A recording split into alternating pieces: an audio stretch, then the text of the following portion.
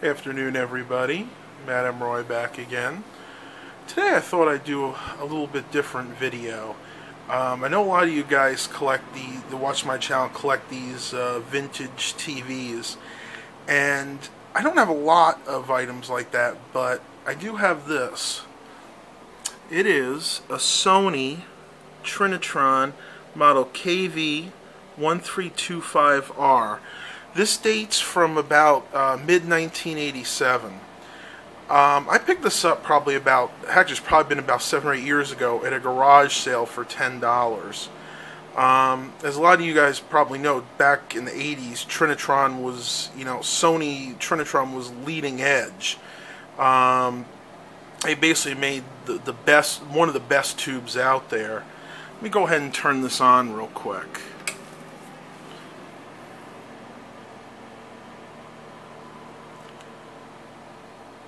And it takes just a minute.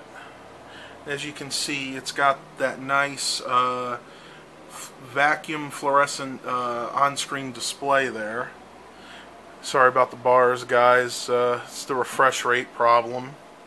Um, that that funky looking uh, circle is not shown on the TV that's also just because of the camera. Let's go over some of the features of this fine old TV set.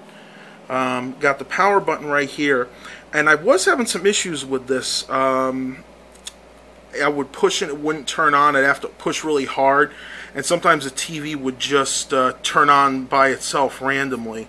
So I wound up doing is I had a little contact cleaner. I spl I didn't even have to take it apart. I sprayed it just around the edges and uh, worked it in, and as you can see, works just fine right now.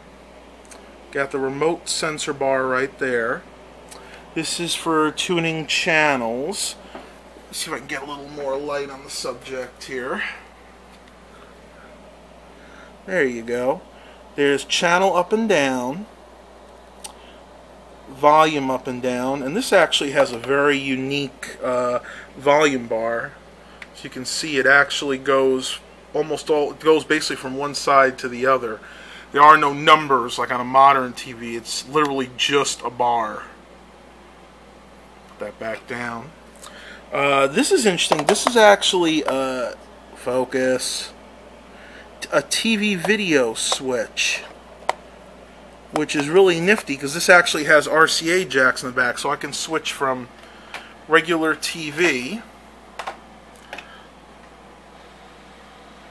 to the video signal. Then under here we have, let's break out the light again. Uh, picture adjustment, that is a digital buttons right there. Those are actual buttons you can push.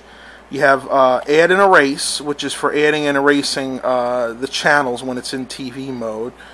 Um, you have a cable on and off switch, so if you don't have cable, you just switch that to off. Um, and then you have your color, I'm sorry, bright color and hue, which is what they what the Trinitron calls the tint. I just, I just always thought it was very interesting that the only digital picture control was the actual picture. Um, and that's the same thing as the contrast on most other tubes. They again, Trinitron and Sony were a little quirky. They wanted to use different names.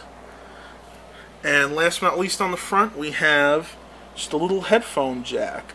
And it is only mono, so earbuds would probably be the best to use with this. Okay, one other oddity with this, and I think it's actually a good thing, is the placement of this one speaker. And it's actually right on the top here. I don't know if I can get any good light so you can see it in there. Nothing huge. I would say it's probably a 4 or 5 inch speaker. But uh, it definitely has some good sound to it. If I move this stuff off, and yes, I have this hooked up to my uh, Retro Duo Nintendo system here. Turn this around. And in the back here, you can see that it has the RCA jacks. Again, it's mono, so just one, just just two. I'm actually using the red for video and the white for audio in this case. Then you have your 75 ohm coaxial cable back there. And it does work, but I don't have it hooked up to cable or a, a uh, converter box right now. And unfortunately, the sticker, which used to show the date and all the information on it, has come off over the years. It used to sit like right here.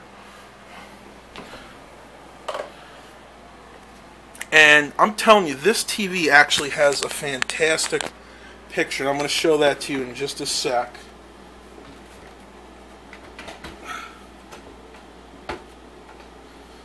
Here we go. And I'm going to turn this down because I don't want the copyright police getting on my case. I don't have any strikes and I'd like to kind of keep it that way. But I can at least show you the picture. Just turn this on real quick. And there you go, The Legend of Zelda. And you can see it is really, really sharp for its age. There's definitely no uh, degradation in the tube whatsoever. And this has pretty high hours. The, the guy purchased it from uses this as his main TV from when he bought it in, I think he said 87 to about 96 or 97 when they got the, the new TV. So anyway, that's just a quick look at this beautiful Sony Trinitron, again model KV1325R. Um, if you guys like these videos, uh, please let me know. Leave it in the comments. Please make sure to like and subscribe. And have a blessed day, everybody.